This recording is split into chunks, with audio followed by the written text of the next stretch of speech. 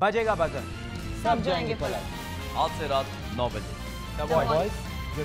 the